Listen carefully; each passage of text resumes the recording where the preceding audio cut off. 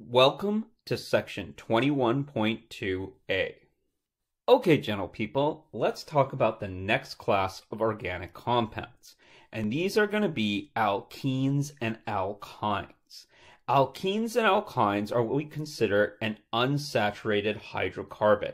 And so again, hydrocarbon means that it's made out of only hydrogens and carbons, but the unsaturated part means that it contains either a double or triple bond. Now, once I put a double or triple bond, this is going to be the most important part to my molecule, and that's why I classify these molecules separately from alkanes. Now, something with a double bond is going to be considered an alkene, and something with a triple bond is going to be something called an alkyne. Now, when we had an alkane, that means I had four single bonds to my carbon. And so this was hybridized as sp3. So I want you guys to remember your hybridization from chapter 14 because you will see a lot of that being used in organic chemistry. So for our double bond, we see that this is steric number 3, so this is sp2 hybridized. In our triple bond, we see that this is steric number 2, so this is sp hybridized, and I'm talking about the carbon when I'm talking about these hybridizations. Okay, so let's go ahead and talk about naming alkenes and alkynes. So what we need to do is determine the parent complex. Now the parent complex is always going to be the one with the double bond inside it. And what I need to do is find the longest chain that contains the double bond. So in this one, all my carbons are in a line. So there's four carbons. So I'm going to use the prefix but. And because it is a double bond, it is an alkene. And to denote that it is an alkene, I will use the suffix ene. So this is going to be butene as my parent complex. Now, this molecule right here, what you guys will see is this is the longest chain of carbons. However, it does not contain my double bond. And so this is why it becomes important. I need to find the longest chain with the double bond, and what you will see, that is five carbons long. And so this becomes pentene. If your molecule contains a triple bond, the parent complex is going to have the suffix YNE to denote that it is an alkyne. Once we've established the parent molecule, we have to number our compounds.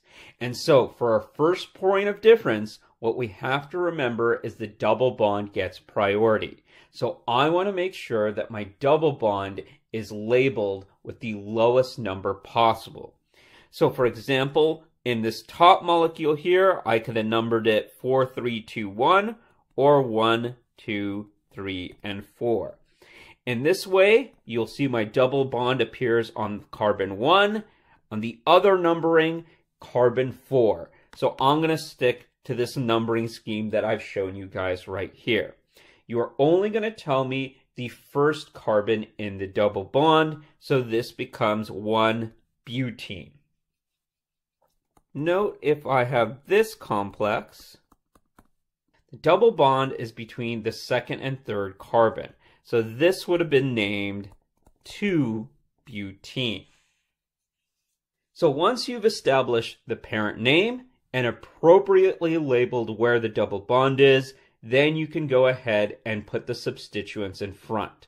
So in this case, my substituent is two carbons long. It appears on the second carbon, so 2-ethyl 1-pentene.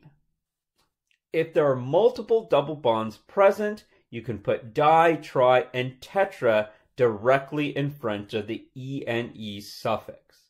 Again, you have to indicate where each one of those double bonds appear and make sure you label it with the lowest numbers possible. Also, remember, you only have to label the first carbon in the double bond, you don't have to label both carbons in the double bond. So, gentle people, why don't you take a look at this quiz question and see if you can name this compound. Okay, gentle people, the first thing we're going to realize is that this compound has double bonds and they take priority. So I want the chain with both double bonds, the longest one that contains that. And that's going to be this chain right here. So this chain is one, two, three, four, five carbons long. So my parent complex is going to be penta di for the two double bonds and ene because this is an alkene. Now I have to go ahead and number this chain. Now if I start here, my first double bond gets labeled as 1. If I were to number it the other way, 1, 2. So I'm going to start labeling this bottom to top because of the first point of difference. So one, two, three, four, five. Now I see that my double bonds are on carbons one and two, and then three and four. So this becomes 1,3 pentadiene. Now let's take a look at my substituents. I got two carbons here two carbons here and a single carbon here. So the two carbons, well, those are my ethyl substituents. And since there's two of them, it's going to be diethyl. They appear on carbons two and three. Now, my other substituent is only one carbon. So that's going to be my methyl substituent. And that appears on carbon number four. So again, let's go ahead and string this together. Here's my parent, and I'm going to alphabetize my other substituents, putting them in front. This leads me to 2,3-diethyl 4-methyl 1,3-pentadiene. I hope that made sense, Chem 1C, and remember to stay safe.